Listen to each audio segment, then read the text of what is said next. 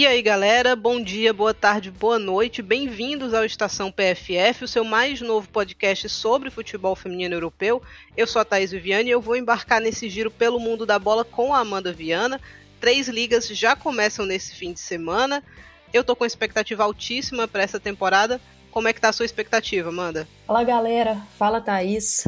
Tô com você. Expectativa muito alta para o início né, dessa temporada europeia, que, que já começou em algumas outras ligas, como a Itália, que tem temporada em andamento, por exemplo, é, nas ligas lá da Suécia, por exemplo, Dinamarca, mas nessas quatro grandes ligas, Alemanha, França, Espanha e Inglaterra, a minha expectativa é a melhor possível para que a gente possa dar sequência ao que vimos aí de alto nível na temporada passada em futebol de clubes, ao que vimos de alto nível na Euro, futebol de seleções. Então, acho que todo mundo tem que ficar ligado no continente europeu nessa temporada agora.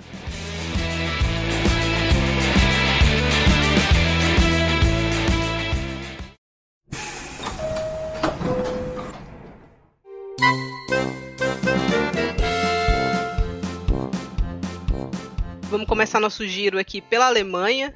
A Alemanha que na temporada passada teve o Wolfsburg como campeão e um Wolfsburg que se reforçou muito bem, né?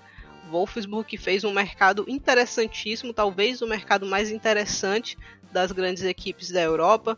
Chega Julie Brand, chega Merle Froms, é, reforça a sua defesa, que eu acho que era o ponto mais débil dessa equipe. Então, para mim, o Wolfsburg essa temporada chega para brigar novamente por tudo, não só dentro da Alemanha, mas fora, né? Porque eu acho que o que o Wolfsburg ficou devendo na temporada passada foi na Europa. Aquela goleada pro Barcelona, né, Amanda? Exato. E, e é um clube que se planeja muito bem, né, Thaís? É, uhum. Consegue mapear bem o mercado. É, até jogadoras assim que, que você pensa, ah, essa jogadora ali tá um pouco mais escondida. O Wolfsburg vai lá, faz a captação, assina antes dos rivais, isso é muito importante, né? Consegue. É, igual a Julie Brand, a equipe fechou com a Brand, se não me engano, no início de 2022. Fevereiro, então, né? Fevereiro. Exato. Uma jogadora que, que jovem, seleção alemã, o Wolfsburg chegou antes de todo mundo, fechou com ela faz também um, um projeto muito interessante para as suas jogadoras que já estão lá renovando seus contratos, dando mais estabilidade.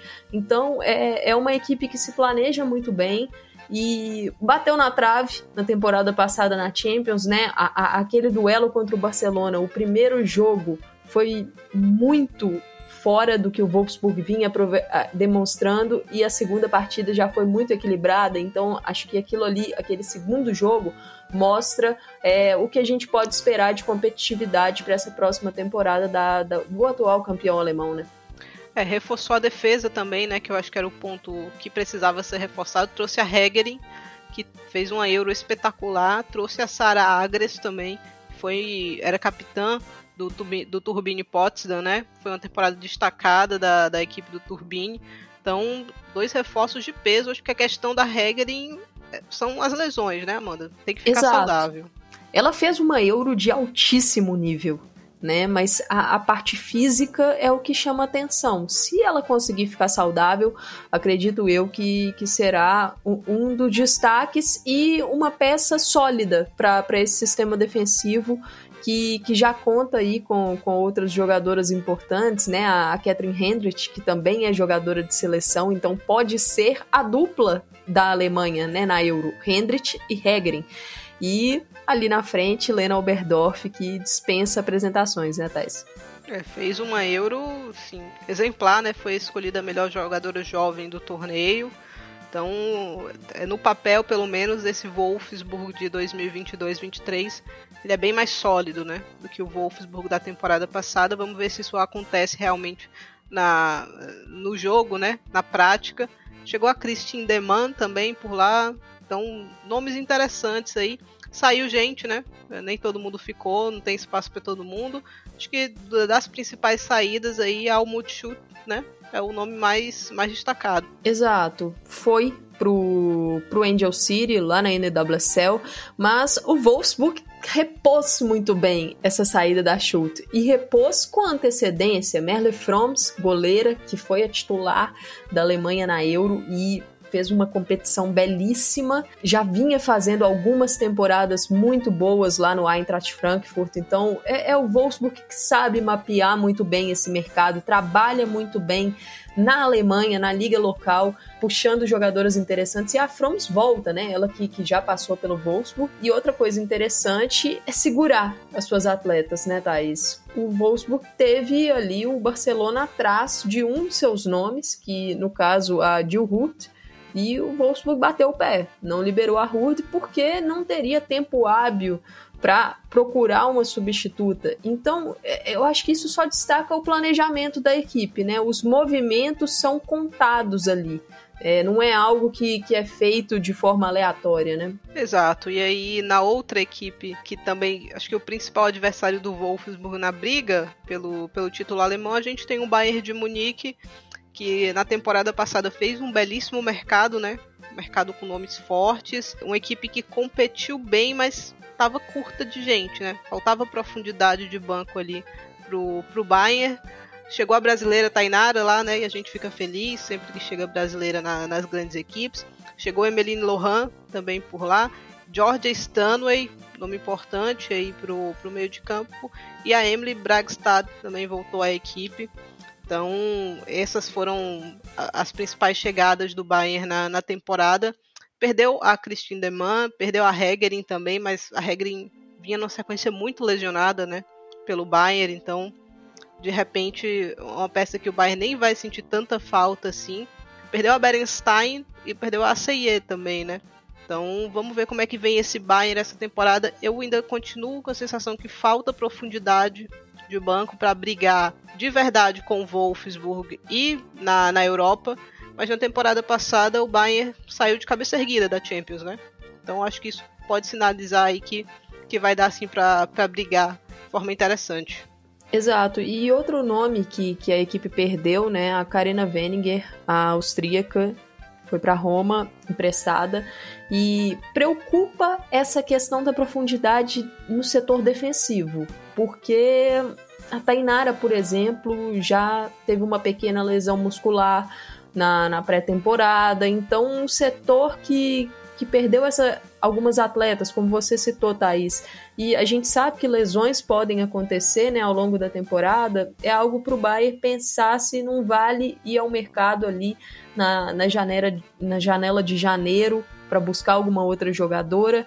E algumas lesões, até um pouco mais sérias, já estão acontecendo no elenco, né? A, a Hannah Glass, lateral direita sueca, anunciou uma operação aí no seu joelho. É uma operação que vai deixá-la de fora, provavelmente de toda a temporada, né? Parece que era uma lesão que estava incomodando ela há algum tempo. É, não foi especificada qual a lesão, mas ela está focando em tentar se recuperar para a Copa do Mundo de 2023. Então, um desfalque pesado já para o Bayern, né, Thais? Pensando aí em início de temporada. A Julia Guin também, a Julia Vin, saiu da convocação da Alemanha recentemente por problemas de joelho, né? Ela que teve uma lesão séria no joelho há algum tempo, estava no nível alto, a gente viu nessa última Euro dela. Então, uma preocupação para o Bayern, e a gente viu esse Bayern na pré-temporada jogando com a linha de três, né? na defesa em diversos momentos, fazendo um 3-5-2, algo parecido com isso.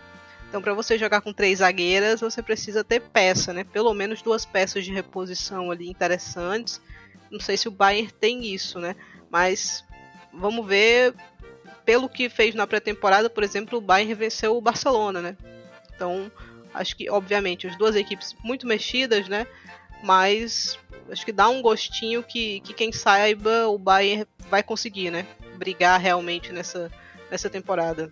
Exato, e assim, pra, pra galera acompanhar, eu acho muito válido a gente ficar de olho no setor de meio campo do, do Bayern. Porque é muita peça de qualidade ali. Só para citar algumas: Sara Zadrazil, é, Lina Mago, é, Linda Dalman, Sidney Loma, é muita gente boa e chegou George Stanway, atual campeã da Euro pela Inglaterra. Então é um setor muito recheado do time para poder alimentar o ataque que conta aí com a Lea Schuller, com a Clara Bull. Então acho que vai ser interessante essa temporada e o Bayern, né? A gente que acabou falando do início da, da Frauen Bundesliga, que começa só lá na outra semana, no dia 16 de setembro, o Bayern já tem uma estreia dura contra o Eintracht Frankfurt, né, Thais? Exato, um Frankfurt que conseguiu a terceira colocação né, na temporada passada, jogou a pré-Champions, acabou eliminado, até de forma frustrante, né? Que era uma equipe, pelo menos que eu estava esperando, que chegasse pelo menos na segunda fase prévia ali, para a gente ter um duelo mais duro mas acabou caindo antes, então vamos ver como é que o Frankfurt vem para essa temporada. Eu confesso que de reforços eu vi pouca gente chegando, ou pelo menos pouca gente sendo anunciada, assim, né? Saída mais notória a Merle Froms, realmente, saíram outras atletas, mas renovou com peças importantes como era a Nusken, por exemplo. Então vamos ver se o, se o Frankfurt vai conseguir brigar por essa terceira colocação novamente. Na temporada passada o Turbine Potsdam brigou bem, né? Brigou até a última rodada ali, as equipes chegaram com possibilidades, né? As últimas rodadas, então vamos ver se a gente tem o Frankfurt novamente conseguindo essa terceira colocação que dá vaga na fase prévia da Champions. A gente vai ter uma outra equipe alemã chegando por ali, um Hoffenheim, quem sabe, né? Tentando de novo beliscar essa vaguinha. Então, o campeonato alemão aí sempre um campeonato interessante para a gente ficar de olho Infelizmente é um pouco difícil ficar de olho no campeonato alemão aqui no Brasil, mas a gente vai tentando para trazer, para ir atualizando vocês, né, rodada a rodada. Exato. E bora partir pegar aí o nosso expressinho para a França? Vamos.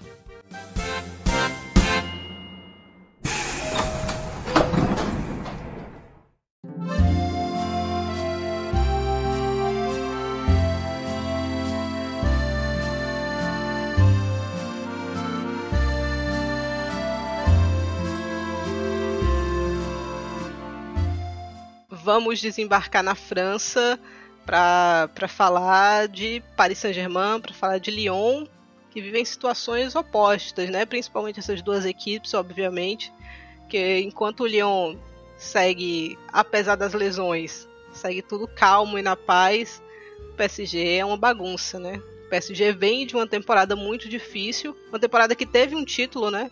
Teve uma Copa da França ali, mas uma temporada conturbada, polêmica, vestiário e fora do, dos gramados principalmente, mas uma temporada que todas as jogadoras depois a gente via elas comentando, é, essa temporada foi muito complicada, muito complicada, muito complicada. Isso ocasionou um certo êxodo ali, né? No PSG saiu muita gente da, da equipe de Paris. Sara Dabrit é um nome importante que não renovou, foi pro Lyon, inclusive. A Luana, a gente já imaginava que ela não fosse renovar. Leia Kelife, Haitema, Bizet. Então, muita gente deixando o, o PSG e até agora pouca gente chegando, né?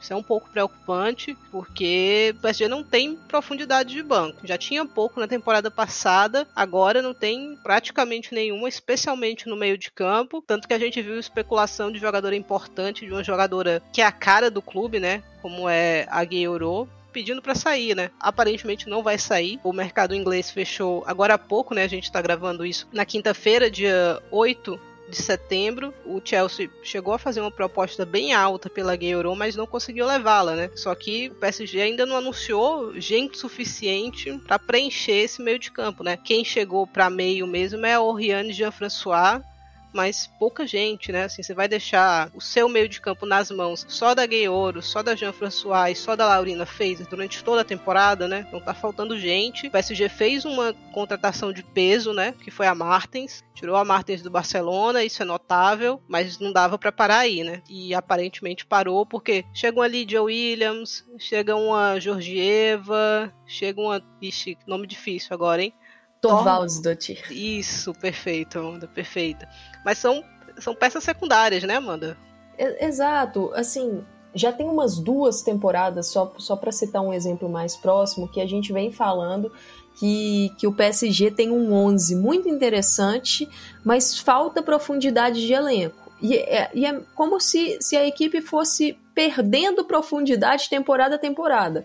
Aí, nessa temporada atual, eu nem acho o 11 do PSG tão forte assim, por todas essas saídas que, que você citou, pela lesão da, da Katotô, que vai perder a temporada inteira, muito provavelmente, por causa da, da lesão de ligamento cruzado anterior que ela teve lá na Euro. Então, é, é um baque muito grande para o PSG e a equipe não se mexeu no mercado. E, e, assim, não é que não se mexeu agora. Já deveria ter se mexido antes, lá no começo, porque já é, precisava preencher lacunas no seu elenco e não preencheu.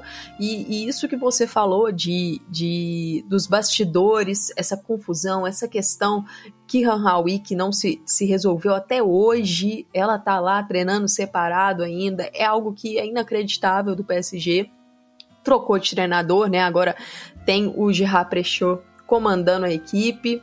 Vamos ver como é que vai ser essa temporada, mas é, é, eu não estou com tantas expectativas assim que o PSG consiga brigar de igual para igual com, com o Lyon ou brigar por um título de Champions, né? Não é o que, que esse elenco tá me passando porque tem peças extremamente qualificadas. Mas eu acho que essa profundidade de elenco, essa falta de profundidade, vai acabar pegando para a equipe no, no final. É, o, o, PSG não conseguiu atrair uma Charlotte Bilbao, né? Que foi uma jogadora que foi especulada por lá. Aslane também foi um nome que foi falado por lá e jogadoras que acabaram não chegando, né? Então, preocupa. Exato, preocupa. e a, aparentemente, assim, lógico, nenhuma notícia confirmada, mas coisas de bastidor, né? Que tentou uma Clara Mateu, mas não conseguiu. É, que tentou ali a Melchido Mornay, do Stade Rams, não conseguiu também.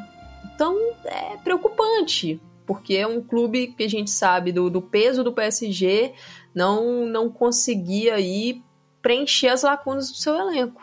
É, e a gente sabe do poderio financeiro também do PSG, né? Por isso que essa situação fica toda mais bizarra. É, mas se de um lado da França tá tudo muito bagunçado, aparentemente no Lyon tá tudo tranquilo, né? Segue tudo tranquilo, campeãs da Champions, campeãs do campeonato francês de novo. Conseguiram mais uma vez tirar uma jogadora importante do principal rival, né?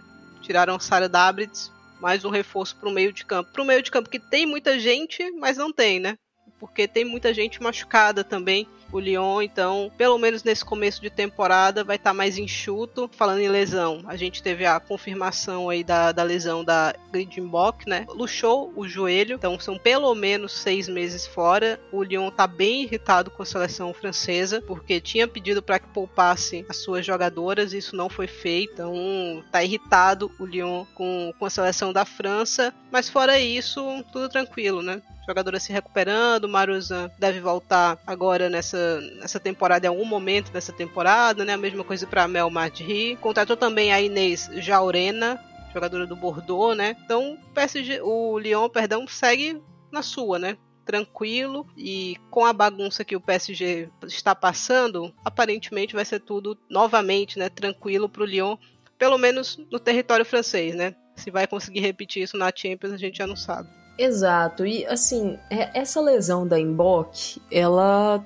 é um potencial problema enorme para o Lyon, para a sequência da temporada, porque na minha visão existe uma falta de profundidade de peças defensivas ali no Lyon, porque perde a Kadisha Buchanan, que não renovou seu contrato, foi para o Chelsea, e Aí restou a Mbok, a Renar e a Alice que é uma, uma jovem jogadora, esteve no, no Mundial Sub-20 pela França, é, já teve algumas oportunidades né, na, na, equipe do Lyon na temporada passada tal, mas se a gente for observar né, o que a, a Sônia Bom Pastor fez no ano passado, em alguns momentos a gente chegou a ver a Mandine Henry atuando como zagueira. E agora, sem a Mbok pelo menos seis meses e, e a gente não sabe ainda a, a, real gravidade dessa lesão dela, porque o Lyon falou que ela vai passar por mais exames para ver a extensão do dano no, no joelho e a Emboque é uma jogadora que tem é, lesões no seu currículo, teve uma, uma recuperação muito complicada, né, de uma lesão no, no tendão de Aquiles. Então, acho que todo cuidado é pouco, principalmente pelo fato de termos uma Copa do Mundo em 2023. Mas essa questão da profundidade de zaga é algo preocupante e a gente sabe que o Lyon também não vai contar, pelo menos assim, até a metade da temporada, acho que já é uma certeza que não contará com a Ellie Carpenter, a lateral direita que, que teve uma lesão no ligamento cruzado anterior na final da Champions contra o Barcelona.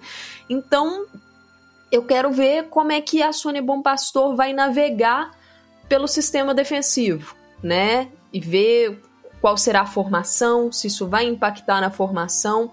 É, talvez ali na janela de janeiro a gente veja o Lyon indo atrás de alguma zagueira. Mas lembrando que a janela francesa é a última a fechar, né? Se a gente Teve aí encerramento da Espanha, Alemanha, hoje, nessa quinta-feira, dia 8, encerra na Inglaterra.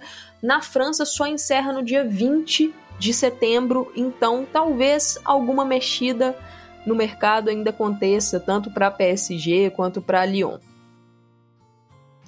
É isso, e a terceira posição é, da França, né, a terceira colocação que dá a vaga na fase prévia da, da Champions, é, na temporada passada foi ocupada pelo Paris FC, né?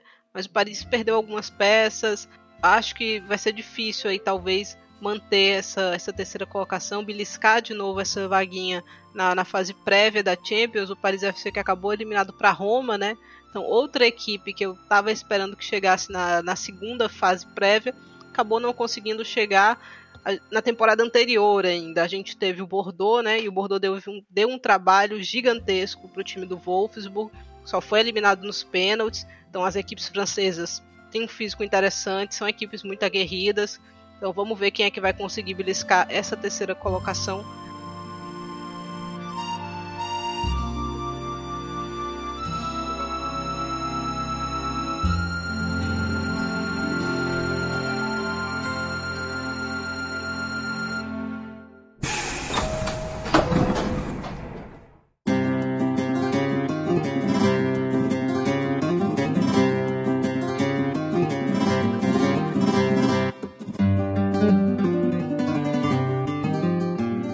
passamos aqui por Alemanha, por França, vamos agora para o campeonato queridinho do momento, o que tem uma das equipes queridinhas do momento, né? Vamos para Espanha para falar de Barcelona, de Real Madrid e de Atlético de Madrid. O campeonato espanhol começa diferente já essa temporada, né? Começa com novo nome, deixamos para trás o primeira Iberdrola para chamar agora Liga F, com novos patrocínios. Acho que o principal, a principal novidade é a questão dos direitos de transmissão, né? A liga se acertou com a Dazon, isso é muito positivo. A Dazon vai pagar 35 milhões por 5 anos de direito de transmissões. Alguns jogos estarão na plataforma da Dazon, mas outros jogos estarão no YouTube, né? Pelo menos nessa primeira temporada. Vai ser assim nessa primeira rodada que a gente já tem jogos interessantes. Os três principais estarão disponíveis no YouTube da Dazon. É, no sábado, às 7 horas da manhã, a gente tem um Atlético de Madrid e Real Sociedad. No mesmo sábado, às 11 horas, a gente tem Villarreal e Real Madrid. E no domingo, a 1 hora, Levante Las Planas e Barcelona. Então, as três principais equipes do país estarão bem acessíveis no YouTube. Muito interessante esse acordo, né, Amanda? Nossa, com certeza, porque a, a gente sempre falava, né? muito difícil assistir jogos da, da Liga Espanhola. Algumas das partidas ninguém conseguia assistir, né? Porque eram jogos que ficavam ali sem transmissão. Então é, é importante para o público, para a gente que quer assistir, mas muito importante também para as jogadoras. É uma valorização para elas, algo que demorou, né? A, a, essa organização ali da, da liga demorou bastante, a necessidade dessa profissionalização e, e, e, é uma liga muito que eu acho que está crescendo bastante. Você, Thais, que, que acompanha de perto aí há mais tempo, você pode falar isso melhor, mas a gente vê, vê o Barcelona que existe ali uma, uma discrepância ainda grande entre o Barcelona e as outras equipes, mas eu acho que nesses últimos anos estamos vendo aí um crescimento dos outros times. O, o, Atlético de Madrid, que não teve uma temporada anterior à passada tão boa, na passada já fez algumas mudanças, pretende vir forte nesse ano. A gente vê um Real Madrid, acho que crescendo temporada a temporada. Então, é, a Real Sociedade fez um grande ano, uma grande temporada passada, né, no caso. Então, tô bastante ansiosa para conseguir agora acompanhar de perto com essa transmissão aí dos jogos na Dazon e ver a evolução do, do futebol espanhol e, e, da liga. Começando falando então já de Barcelona, né, as atuais campeãs fizeram um mercado um tanto frustrante, né? Sim, porque sonharam com Midema, sonharam com Catutô, boa parte da temporada, né, acabaram não conseguindo trazer esses jogadores e ainda perderam uma peça importante, né, uma peça que se tivesse bem, tivesse no auge, era titular da equipe, né? Que era a Martins, que foi pro PSG, mas que esse finzinho de, de janela trouxe uma novidade aí pro Barcelona muito interessante. O Barcelona que traz Núria Rábano, da Real Sociedade, lateral esquerda, uma posição que o Barcelona precisava reforçar. Aí a primeira surpresa, eu acho, né, da, da janela do Barcelona, que foi a Lucy Bronze, deixou o City e chegou no Barcelona. Contrataram a Geise também, que era uma jogadora que soou, né, pro, pro Arsenal, mas o Barcelona acabou acabou é, entrando na frente e levou a, a, atacante que foi artilheira da temporada passada. Levaram também Salma Paraluelo, do Villarreal, jogadora jovem, muito promissora. A mesma coisa com Vic Lopes, do Madrid CFF, duas jogadoras muito jovens aí. E aí a grande surpresa no último dia, né? Barcelona conseguiu fechar a contratação de Kira Walsh por mais de 400 mil euros, hein? então jogadora mais cara do mundo atualmente, para suprir uma lesão da Alexia, que era importante que o Barcelona conseguisse mais uma peça ali, porque estava muito lesionado, né? Tinha muita gente com lesões, algumas lesões de uma duração maior, então o Barça estava precisando trazer mais alguém para esse meio de campo campo, conseguiram trazer a Kiro Walsh, para mim, uma das melhores volantes da atualidade. Então, um meio de campo que está bem reforçado. Acho que o Barcelona acabou não tendo a janela dos sonhos, né? Mas acabou com uma janela muito boa ainda. Ainda repescaram Laia Codina e Emma Ramírez, né? Que estavam emprestadas ao Milan e à Real Sociedade. Então, não foi a janela dos sonhos do Barcelona, mas foi uma boa janela. Compensação, perderam algumas peças, né? Mas que acho que a Hermoso é uma peça, a peça mais importante aqui. A Hermoso e Martins são as peças mais importantes que o Barcelona perdeu, mas peças que eu acho que o Barcelona tem condições de suprir. O jogo coletivo do Barcelona tem condição de suprir, mas talvez, quem sabe, esse ano a briga esteja um pouquinho mais aberta, mas eu ainda acho que o Barcelona está bem favorito. O que é que você acha, Amanda? Eu vejo o Barcelona bem favorito ainda, mas acho que as outras equipes estão se fortalecendo para conseguir competir um pouco mais, né? A gente viu um Real Madrid que conseguiu competir em alguns jogos, acho que daqui a pouco a gente vai falar mais do Real, mas se reforçou bem. Acho que o Barça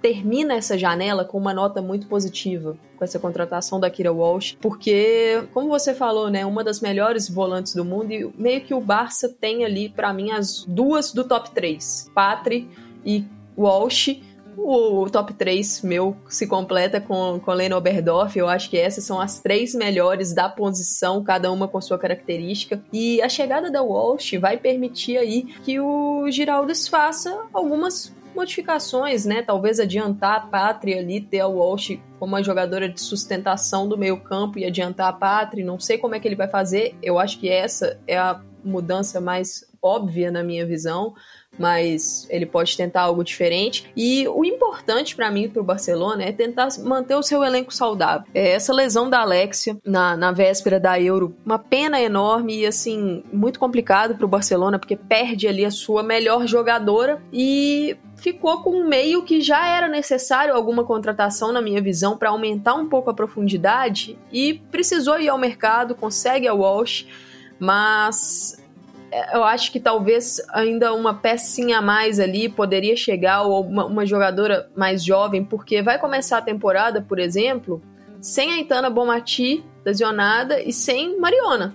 Também lesionada. Então, manter esse, esse elenco saudável talvez seja a coisa principal para o Barcelona nesse ano, porque foi algo que na temporada passada pegou muito para a equipe. Eu acho que, que o Giraldes tem ali bons reforços, a Geise já mostrou coisas interessantes na pré-temporada a Lucy Bronze dispensa apresentações, né? Uma é muito difícil achar laterais no mercado e a Bronze é uma lateral direita world class, então foi positivo assim essa janela, mas o fato de ter saído sem Viviane Miedema, por exemplo, ou sem Katotô, pode deixar ali torcedor meio assim, mas com Kira Walsh nesse final foi algo que acho que animou todo mundo e só para fechar se tem alguém que, na minha visão, saiu perdedora dessa janela do Barcelona, é Ingrid Engen, porque a norueguesa chega na temporada passada num meio-campo que ela teria pouco espaço. Né, a trinca, Pátria, Itana e Alexia é titular, então ela já chegou reserva ali. Ao longo da temporada, ela não conseguiu se inserir de modo a ter mais minutos, né? teve poucos minutos ali na relevantes, vamos dizer assim, em jogos importantes na temporada. E com a lesão da Alexia, ela poderia se tornar ali é, uma titular. E não foi isso que aconteceu. E com a chegada da Kira Walsh, a Engen será reserva novamente. A questão da Engen aí é complicada. Eu também acho que o Barcelona fechou numa nota positiva nesse mercado com, com a contratação da, da Walsh. Talvez não seja um elenco tão estrelado, né? dessa vez, mas é um elenco muito equilibrado ainda. Eu acho que vai dar para ser campeão espanhol com certa tranquilidade. Acho que vai dar para brigar também na, na Europa. Falando em brigar, né? Na, na Europa, a gente tem Real Madrid na sequência, Real que jogou sua primeira Champions na temporada passada e deixou uma boa impressão e acho que essa boa impressão contribuiu bastante para o mercado que a equipe conseguiu fazer, né? Trouxe uma Caroline Weir que era um jogador importante no City, Sandy Toletti do Levante, Naomi Feller, né, que é uma jovem jogadora aí que estava no Stade Ham, trouxe a Kathleen também para reforçar a sua defesa e aí no apagar das luzes trouxe a volante sueca, a Freya Olofsson, Real Madrid que na temporada passada teve muita dificuldade, especialmente pelas lesões. Então, ao contrário do ano anterior, que tinha conseguido a segunda colocação de forma bem mais tranquila, nessa temporada 2021-2022, o Real suou sangue para conseguir a, a, sua vaga novamente nessa fase prévia da Champions, né? Que demorou tanto a demitir o antigo treinador, mas a recuperar as jogadoras que estavam lesionadas. Então, mas eu, eu achei interessante. Quem chegou chegou de forma interessante. A gente já viu essa equipe atuando contra o City, né? Na, na fase prévia da Champions. O Real acabou eliminando o Manchester City de novo e deixou uma boa impressão. Um time mais forte fisicamente. Eu acho que para competir com o Barcelona isso é muito importante, porque o fato do Barcelona sobrar no físico era um ponto para ajudá-lo a vencer de forma mais tranquila as suas partidas. A gente viu um Real tá mais forte, tá mais alto, eu acho que isso, isso vai ser um fator importante para a gente ver essa equipe brigando mais e, quem sabe, nessa temporada voltando a ter vida mais tranquila, né? a não sofrer tanto, que a classificação, o terceiro lugar, a confirmação no terceiro lugar só veio na última rodada na temporada passada. Eu acho que dá para evitar isso com esse time. Obviamente que depende que fique todo mundo saudável, né? Mas eu acho que tem boas condições tem boas condições também de competir de forma mais dura com o Barcelona. Teve algumas goleadas na temporada passada, mas também teve jogos mais equilibrados, né? Especialmente aquela partida de ida na Champions League. Então acho que é por aí que a gente vai olhar o Real agora, fazendo jogos mais equilibrados com o Barcelona. Não sei se vai vencer, mas vai, vai competir de forma mais interessante. Isso é muito importante. O mercado do Real foi muito interessante. É, Santi Toletti e Caroline Weir são dois reforços, na minha visão, fantásticos. É, numa posição que a gente tem visto aí nesses últimos dias de janela o, o tanto de time que está precisando de meio campista e o Real conseguiu fazer essas duas contratações ali porque foi cedo na janela buscá-las, né? Foi cedo negociar com essas jogadoras e gostei bastante do que vi da, da Naomi Feller nessa, nessa pré-temporada. Esse jogo da Champions contra o Manchester City foi um belo jogo do Real, então acho que já deixa, como você falou, Thaís, uma boa impressão pro que vem por aí. Mas a consistência é algo que, que vai ser necessária nesse ano. Né? A, a, liga, eu acho que crescendo mais, as equipes reforçando mais, então vai ser algo bem mais competitivo. E como você disse, o Real não vai poder derrapar tanto igual derrapou no início da temporada passada, porque pode ser punido e ficar sem uma Champions. Então, assim, pro, pro, pro projeto do Real, né, de, de crescimento ano a ano, ter uma vaga na Champions League é, é fundamental. Então, acho que esse deve ser primeiro o objetivo da, da equipe na liga conseguir garantir uma vaga na Champions e aí o que der, voos mais altos ali, se der para realmente competir um pouco mais perto do Barcelona e na Champions League, primeiro, passar aí para a fase de grupos, né? Chegar na fase de grupos e aí sim buscar uma classificação novamente para o mata-mata, como veio na temporada passada, mas acho que é um mercado interessante. Sentir falta de uma atacante. A equipe reforçou bem no meio-campo, mas é, o fato.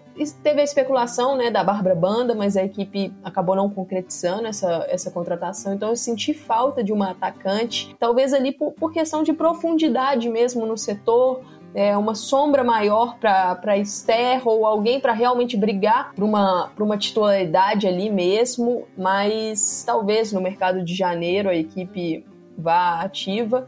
E so, rapidamente sobre a Freya Olafsson, né? Última contratação aí do time, a sueca que chegou agora, estava na NWSL, no Racing Louisville. É uma jogadora que, que eu acho que a passagem dela pelo, pelo Louisville foi boa, mas regular. É uma atleta que, que o ano de 2022 dela, na minha visão, é pior do que foi a temporada de 2021. Ela acabou perdendo um pouquinho de espaço na equipe pelas contratações feitas lá pelo Louisville, mas é um clube que oscila muito lá na NWSL, é um clube mais de baixo de tabela, vamos dizer assim. Então, é, essa oscilação da Olafson, ela não me preocupa tanto, mas eu quero ver como é que ela vai dar esse salto no Real Madrid, que eu acho que vai ser uma exigência um pouco maior para ela, mas acho uma boa aposta. O valor talvez tenha sido um pouco elevado demais, né? Especulam-se algo na casa dos 160, 200 mil euros, acho um pouco alto, mas é uma boa peça para a profundidade no meio-campo do Real. É, seguindo aqui, né, a gente tem um Atlético de Madrid que é completamente novo, quase assim, né? Muitos reforços aí é, Xênia Pérez, Cinta Rodrigues, Moraza, Merle Brat, Irene Guerreiro, Eva Navarro, Marta Cardona, Andréa Medina, André Staskova e Lucia Moral ainda recuperou a Sônia Marrarim, que estava emprestada. Então, uma equipe quase toda nova aí para o Atlético de Madrid que teve desempenhos frustrantes nas duas últimas temporadas e agora vai tentar se reerguer, né, renovando quase todo o seu elenco. Perdeu jogadoras importantes, né, como Laia Alexandre, Silvia Mezeguet e Amanda Pedro, dois pilares dessa equipe, né? Tuncarrá, Lindal, perdeu também a, a Deina Castelhanos, então nomes importantes, né, que deixaram a equipe, então um Atlético que está buscando aí um outro momento. Vamos ver como é que esse, esse time vai encaixar e vai performar ao longo da temporada inteira. Eu acho que a, a palavra-chave é realmente estabilidade, né? Encontrar uma equipe estável, é, uma equipe que consiga competir bem no papel. Esse time é para conseguir beliscar ali um segundo, terceiro lugar. Vejo difícil bater de frente com o Barcelona, mas dá para sonhar em beliscar essa vaguinha na, na Champions aí. O Atlético vem de temporadas frustrantes, perdeu a vaga na temporada passada para o Real, né? O Real ficou com a terceira colocação e a Real Sociedade ficou com a segunda, né? Então, para um projeto como o projeto do Atlético de Madrid, você não conseguir essa vaga na Champions, acaba fechando a porta para algumas jogadoras, né? A jogadora quer sempre estar tá na, na, nas competições mais importantes. A Champions, para muitas, é um fator decisivo, né? Então, você não conseguir nenhuma vaga na fase prévia vem prejudicando o Atlético de Madrid. É, fez um mercado quase todo aqui local, né? Duas peças aqui, só que, que não, não vem de clubes espanhóis. Então, um approach diferente também aí do, do Atlético de Madrid, que de vez em quando mergulhava por mercados muito alternativos, dessa vez fugiu um pouquinho disso, vai mais nas certezas da, da liga ali, da liga local. E vamos ver se funciona para essa equipe. Aproveitar para falar rapidinho de Real Sociedade, que foi uma equipe que, para mim, excedeu todas as, as expectativas na temporada 2021-22, beliscando um segundo lugar ali. Natália Arroio, para mim, assim, tirou leite de pedra porque era um elenco super curto, super curto e que ela conseguiu é, fazer render até o fim para beliscar é, essa segunda vaga. Vai enfrentar o Bayern, né? Na fase prévia, o Bayern de Munique, fase prévia da Champions, então é um, um desafio muito duro muito duro. É, recebeu algumas jogadoras emprestadas, né? Alejandra Bernabé, Jade Legli, fez algumas duas ou três contratações ali, mas nenhum nome tão conhecido, nenhuma jogadora de, de renome. Então a aposta vai continuar sendo pelo grupo, né? Pela gestão do elenco ali. Tem uma Mayur, tem uma Nerea. Então vão continuar sendo a cara dessa equipe, né? Essa dupla. Então, vamos ver como é que a Real Sociedade vai se comportar nessa temporada, mas eu continuo achando bastante difícil que, que consiga beliscar aí novamente uma, uma segunda colocação. Exato, Thaís. E assim, Real Sociedade e Atlético de Madrid, esses dois últimos times que você falou, acho que o foco tem que ser uma, uma vaguinha de Champions mesmo e se manter saudáveis, né? Uma temporada de Copa do Mundo, a gente sabe que tem muita jogadora aí de olho em, em seleção, então tentar se manter saudável, um ano estável. No caso do Atlético de Madrid, é buscar voltar, né? Voltar para aquela competição que, que a equipe estava conseguindo boas participações ali mas ficou de fora aí dessas, dessas últimas edições, então agora é tentar voltar. A brasileira Ludmilla teve em jogos aí de, de pré-temporada como titular, vamos acompanhar a temporada dela, né? Se, se vai conseguir um ano melhor, ela que oscilou bastante na temporada passada, figurou no banco, teve algumas lesões, então é ver o crescimento da, da equipe do Atlético, que fez um mercado até que tem algumas jogadoras que, que costumam ficar em DM, né? A Marta Cardona, por exemplo, chegou e, e já teve ali uma pequena lesão. Então, é, é tentar ficar saudável para conseguir uma temporada mais estável.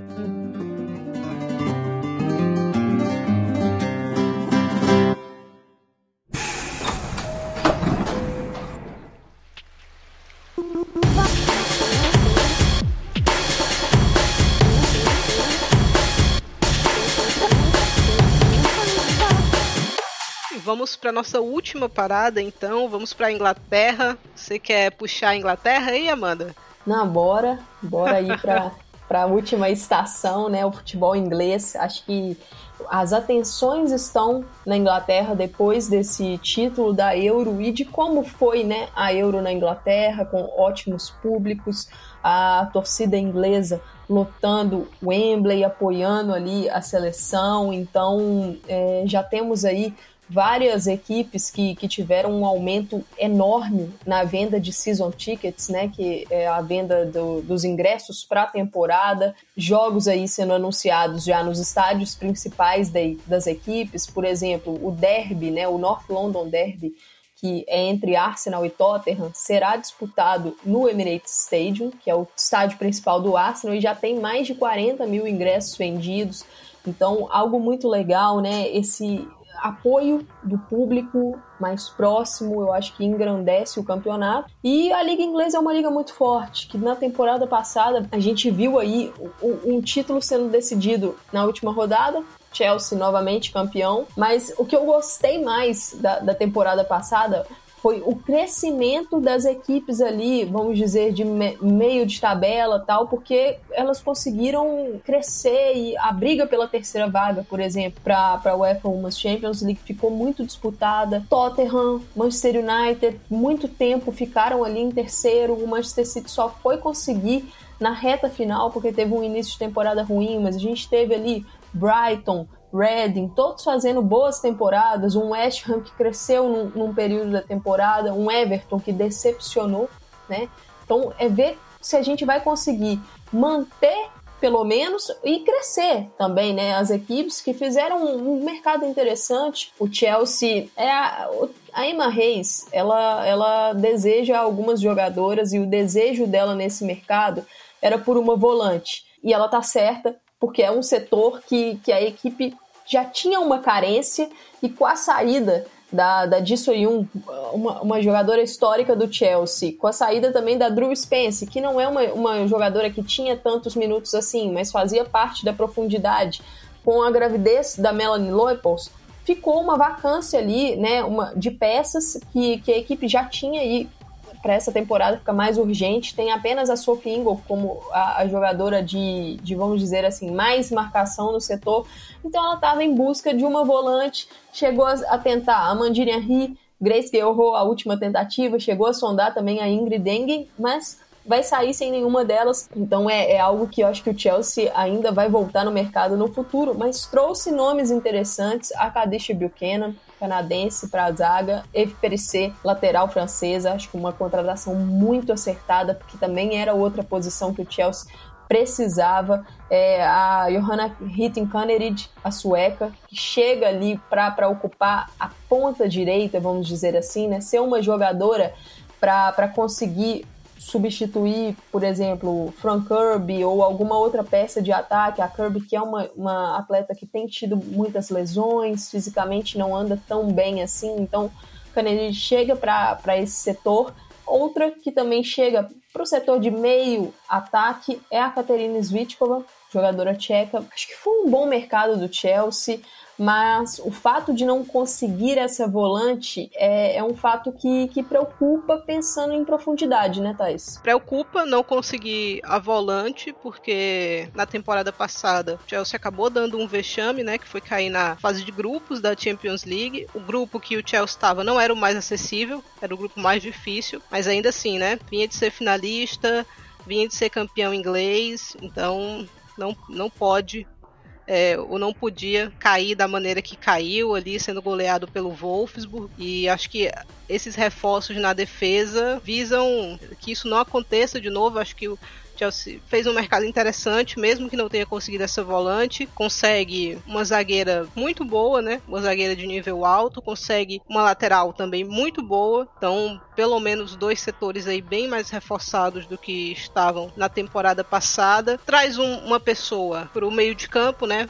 por mais que não seja um primor, vai possibilitar uma rodagem maior, né, de minutos. Eu acho que isso é importante para uma temporada tão longa como é a, a, temporada na Inglaterra, né? Muitas competições a liga nem a liga mais mais comprida, né? São 22 rodadas, mas tem sempre uma copa, tem sempre uma coisa aqui, uma coisa ali. Tem seleção também, né? Então você vai desgastando as jogadoras. Importante que o Chelsea tenha, tenha se reforçado. Não conseguiu nem a Ona, né? Que era um desejo do Ona Bate, que era um desejo do Chelsea para lateral. A gente viu até uma. Não sei se é uma especulação, não sei se é uma fofoca, que o Chelsea teria oferecido um milhão, né?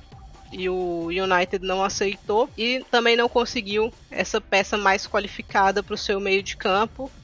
Vamos ver o que é que o Chelsea vai fazer no próximo mercado, ou quem sabe no mercado de inverno, né? No mercado de janeiro, para tentar suprir essa baixa, mas eu acho que tá ok o elenco do Chelsea para continuar brigando ali no topo da Inglaterra. Tá ok para brigar ali também na, na Champions. Também deve ser o suficiente, pelo menos para passar de fase, né? Dessa vez.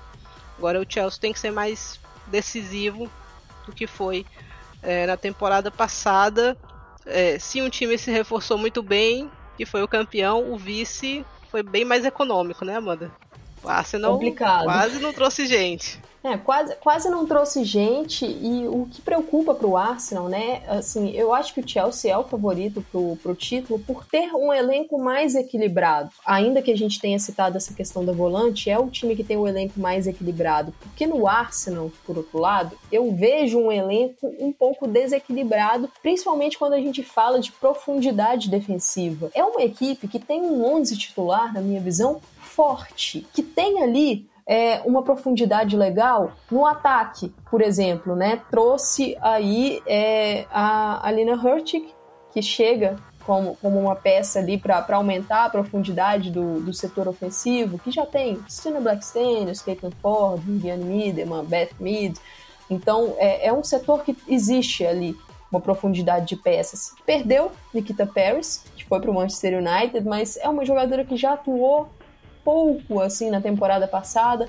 Então, eu acho que ofensivamente o Arsenal tem boas peças até de reposição. Mas se a gente vai descer no campo, pro meio campo, principalmente a parte defensiva, a equipe só tem a Lia Vault de volante. E não foi atrás de uma substituta para ela. Em momentos da temporada que a Valt não esteve disponível, o Arsenal lutou muito contra isso. E defensivamente, na parte da zaga mesmo, existe um problema enorme de profundidade, porque tem o que? A Lia Williamson e a Rafael, que é a zaga titular, na minha visão, a Lotte Ubermoy, a primeira reserva, uma ótima reserva na minha visão, mas são três jogadoras que tiveram passagens pelo departamento médico na temporada passada. Qual é a quarta jogadora? Jennifer Beach, que o time renovou de forma, na minha visão, inacreditável. Né? Por todas as falhas que a Beach cometeu na temporada passada, é uma zagueira que, que vem perdendo reação, perdendo velocidade. Então eu acho que para um clube que hoje, com o Arsenal, busca títulos, né? Conseguiu renovar com a Viviane Miedema em busca de títulos, essa renovação da BIT é complicada e a atuação no mercado também é complicada, porque a gente não viu tantas especulações assim é, para o setor defensivo, né? Vimos mais especulações para o setor de ataque, é, rolou a especulação da Jayce, da Wang Shuang, da própria Gil Queiroz, né? Que ao que tudo indica, fechará com o Arsenal nesse último dia de janela, mas será emprestada para o Everton pela temporada, mas são nomes todos para o setor ofensivo e o time não buscou gente para defesa, buscou uma goleira, né, a Keila Marquise, goleira é, estadunidense, será a reserva agora da Manuela Zinsberger, porque a Lydia Williams foi para o PSG, então eu acho que, que é um mercado complicado do Arsenal, né, Thaís? A torcida não ficou feliz, vamos dizer a assim. A torcida, ao contrário, né? Tá bem irritada com a equipe, para mim com razão, né? Para mim, o setor do Arsenal que mais precisava de reforço era o meio e defesa. Você, além de não reforçar esse setor, você deixou uma jogadora como a Ana Patten, por exemplo, sair, né? Assim, você poderia utilizá-la para essa profundidade, né? Então, difícil compreender aí algumas decisões do Arsenal e eu acho muito difícil que brigue realmente nessa temporada por título, né? Pode chegar eventualmente, mas não dá indícios que, que vai conseguir realmente brigar, porque é um elenco muito curto. Uma lesão praticamente acaba com as pretensões do Arsenal nessa temporada, né? Então tem o torcedor do Arsenal tem que rezar aí para a dupla de zaga ficar saudável, para Valde ficar saudável, para todo mundo ficar saudável, para o Arsenal ficar tempo maior possível vivo, né? Na, nas competições. Então isso é complicado para mim, é sinal de mau planejamento, né? Até os últimos dias da janela e o Arsenal ainda estava especulando, né? Assim, a gente estava vendo, ah, ainda está vivo, está interessado, a gente não sabia em quem, né? Então, difícil a situação do Arsenal. Exato. E vamos aí pro, pro terceiro colocado da última temporada, o Manchester City, que que está sendo a estrela, vamos dizer assim, né? Foco desse último dia de janela, porque acabou negociando a Kira Walsh com o Barcelona e aí o City está tentando uma reposição. É, o mercado do Manchester City, até aqui, na minha visão, um mercado interessante. Eu gostei das peças que a equipe trouxe, né? Trouxe Dana Castelhanos, Laia Alexandre, que para mim foi uma belíssima contratação. Mary Fowler, outra belíssima contratação na minha visão. Trouxe Sandy McKeever para ser reserva da Ellie Roebuck, é uma, é uma movimentação boa do City, mas estranha para mim da McKeever, que é uma, uma goleira que, que tem foco em seleção inglesa e vai ser reserva da Roebuck. Então eu não entendi muito do ponto de vista dela, mas é um, uma boa para o City, que teve que usar goleiras ali como a Karima Taib na temporada passada, com a lesão da Roebuck, que não, não foi legal né, para a equipe.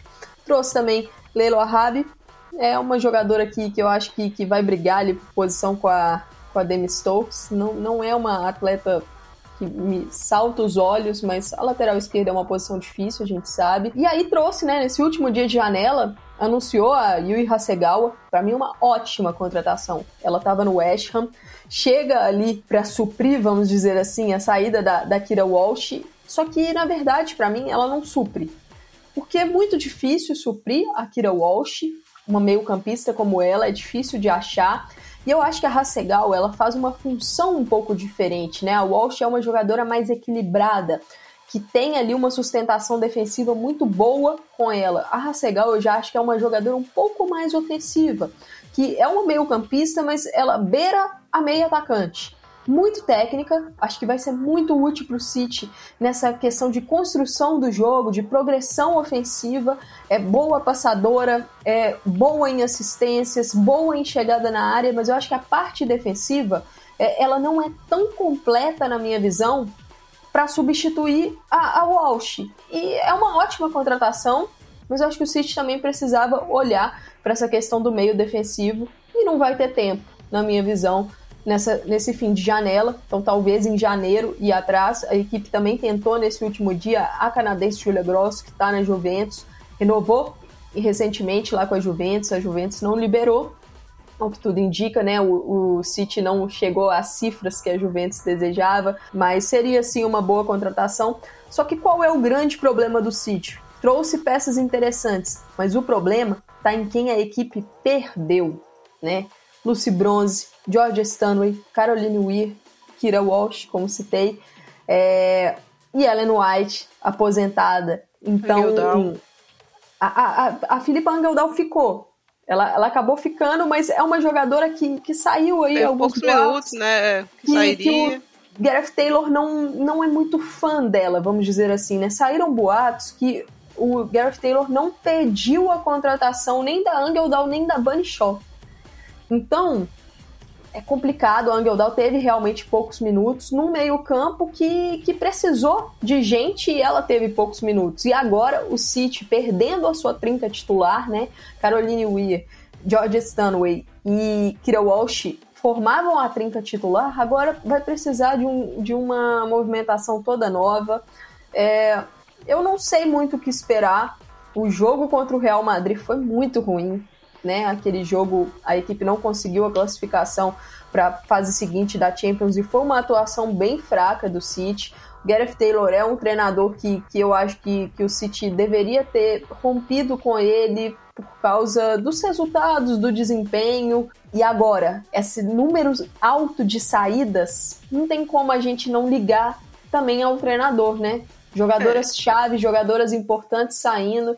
Então, eu não sei qual a sua expectativa, Thaís, mas a minha é uma expectativa de uma equipe que vai ter trabalho para conseguir uma vaga para Champions até. Eu, eu não, não sei se eu vejo o City brigando por título, ainda que tenha excelentes peças. Bunny Shaw é uma excelente peça, Lauren Hemp e Chloe Kelly a gente nem tem como falar, são ótimas jogadoras, mas eu acho que o equilíbrio dessa equipe é que tá complicado, né? É, o City é uma incógnita para mim, porque antes das saídas eu achava as chegadas muito boas. Achava que, inclusive, ia ficar a equipe mais equilibrada da Inglaterra. Só que aí perdeu o meio de campo, né? A vida vai ficar bem mais complicada, especialmente sem a Walsh. Uma peça difícil de você substituir no mercado. Pra mim, não tanto que não acho que tenha substituta é, direta nem agora, nem em janeiro, né? Então, ou o City vai botar os olheiros para trabalharem muito aí, ou ele vai ter que pagar muita grana, né? Pra de repente tentar tirar uma Lena Oberdoff do, do Wolfsburg. Mas posição difícil, não, não, não entendo ainda, porque o City, tá, o, o City ainda insiste com o Gareth Taylor, que é um jogador, é um jogador, é um treinador que gosta de um outro estilo, né? Ou sonha em jogar com outro estilo obviamente não consegue, vem falhando grosseiramente, né? O City na temporada passada acabou sofrendo muito com lesões, né? No começo e aí teve que correr atrás durante todo o resto do calendário para conseguir a sua vaguinha na, na Champions. Mas para mim é uma incógnita. Eu acho que vai brigar com o Arsenal ali, né?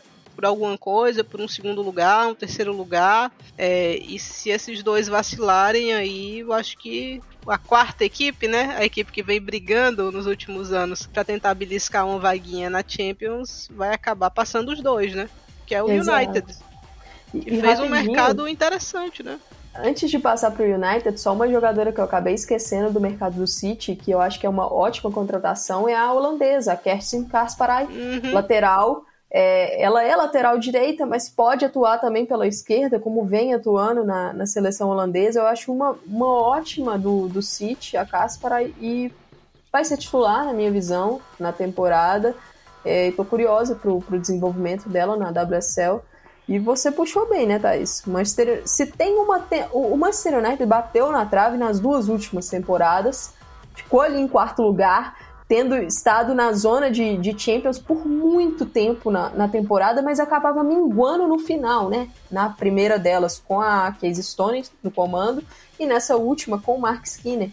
É, e é uma equipe que, que se tem uma chance para o United, Thaís, é nessa temporada. Porque é um City aí incógnita, como você falou, então, acho que, que dá para chegar e fez, fez um mercado legal, né, Thaís? Trouxe é, jogadoras interessantes. Eu acho que, que a contratação ali da Maia Letícia foi uma das melhores do mercado para mim.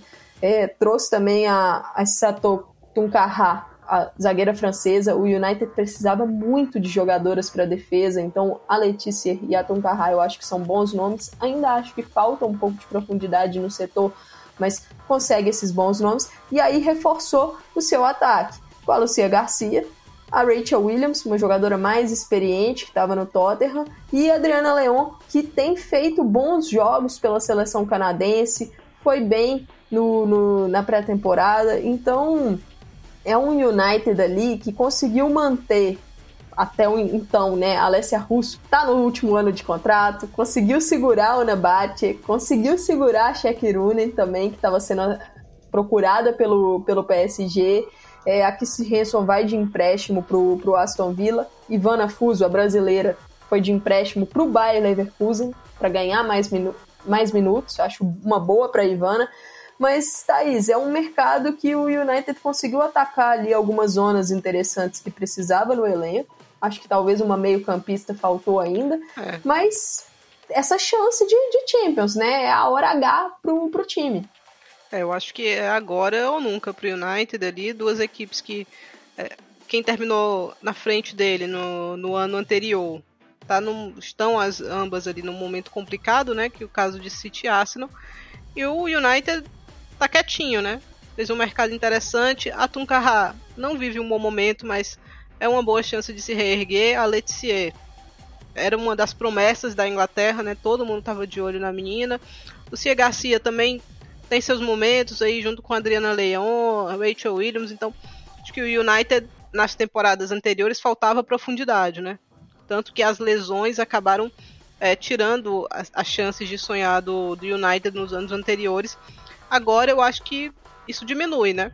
Porque se alguém machucar, você tem uma peça de nível interessante ali para repor. Mas eu acho que faltou uma meio-campista. Pelo menos uma meio-campista que o United poderia ter ido buscar. Não é um setor fácil, mas dava para ser um pouco criativo aqui, para sondar outros mercados. E se o United tivesse conseguido duas meio-campistas aqui, eu acho que teria sido um mercado excelente. Excelente. Acho que foi um mercado muito bom. Mas com duas meio-campistas teria sido um mercado excelente, mas sim, acho que dá para brigar. Realmente, sinceramente, acho que dá para brigar muito com Arsenal e com o Manchester City. Exato, e assim, só para fazer um, um, balanço aqui das outras equipes inglesas, né? O, o, Liverpool trouxe um nome de peso, a Shanice van der Sanden, holandesa.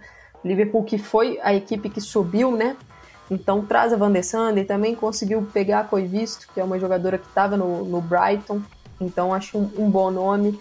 É, o West Ham acabou perdendo a Hasegawa nesse último dia de janela, mas foi agiu rápido no mercado e trouxe uma, uma reposição também japonesa, né? Onoka Hayashi, meio campista, chega lá do AIK da Suécia, e o West Ham também trouxe outra jogadora japonesa, a Risa Shimizu, uma lateral direita, trouxe Viviane SI, então fez um mercado legal o West Ham. É, como eu falei, as, as equipes ali de meio de tabela, é, elas têm se tornado cada vez mais competitivas, então muito interessante ver isso. Não, não tem jogo fácil mais na, na WSL. Não quer dizer que, que a gente não veja goleadas, porque existem, mas para que essas goleadas aconteçam, né, as equipes precisam trabalhar muito na partida e já que a gente citou o nome de Gil Queiroz lá no Arsenal, né? A, a janela tá no último dia, estamos gravando no dia 8 de setembro, que é uma quinta-feira, e a Gil Queiroz estava sendo especulada como uma contratação do Arsenal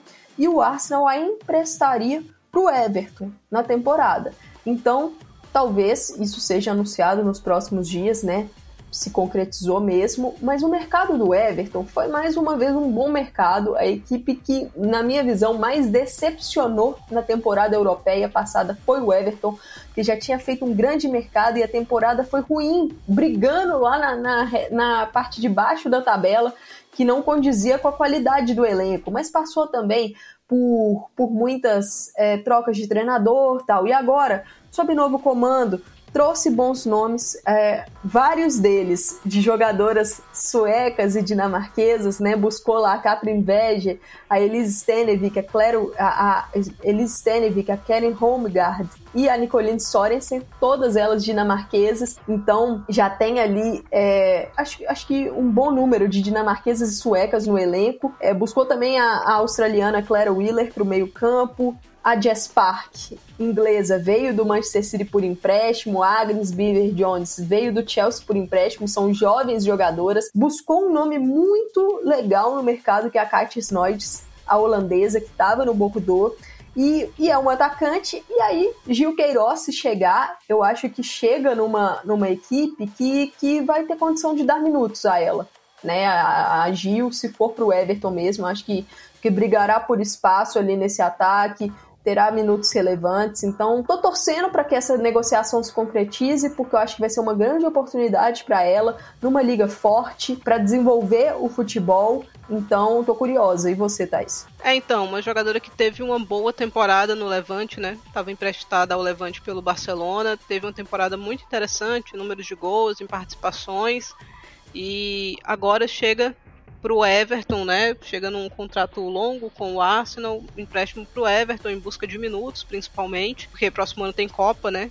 E é uma jogadora que vai querer estar tá, né, participando, então vai querer ter minutos relevantes ali para poder ser avaliada. É, acho que o único detalhe é que não conseguiu fazer pré-temporada, né? Demorou a resolver a questão dela com o Barcelona e por isso chegou atrasada, perdeu uma pré-temporada que seria interessante, né? Chegando numa liga nova, num clube novo, eram semanas ali muito importantes para conhecer o grupo, mas agora vai ter que ir sem isso mesmo, né?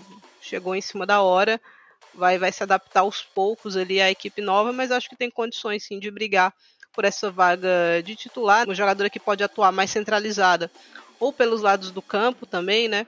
Então, espero que consiga aí ter um, mais uma temporada boa, dessa vez no, no futebol inglês. Exato. Então, é mais uma coisa para a gente ficar na expectativa na WSL, que terá agora, muito provavelmente com essa confirmação da Gil, duas brasileiras, né? Rafaela no Arsenal e Gil, se concretizar mesmo, jogadora que pertencerá ao Arsenal, mas estará emprestada ao Everton. Bom, galera, estamos chegando aí na nossa estação final, né? Sobre a, a Barclays WSL, acho que vale uma observação final. É, hoje, no dia 8 de setembro, tivemos o falecimento da Rainha Elizabeth, lá do, do Reino Unido, e talvez role algum desdobramento de em relação a algum adiamento na rodada da Barclays WSL, que está marcada para começar no próximo sábado, dia 10 de setembro, com o jogo Tottenham e Manchester, Manchester United. Então é válido a gente ficar de olho se a rodada vai acontecer mesmo ou não. Mas sobre esse nosso episódio, foi isso, foi um prazer rodar aqui pela Europa com você, Thaís, e com o pessoal de casa. Eu que agradeço, Amanda, o prazer foi meu. Espero que quem está nos ouvindo também tenha gostado, né? De passear com a gente, de viajar com a gente pelas principais ligas da Europa, pelos principais clubes, né? Conta pra gente qual a sua expectativa, né? A nossa é a mais alta possível e espero que a sua também. É isso, até a próxima semana.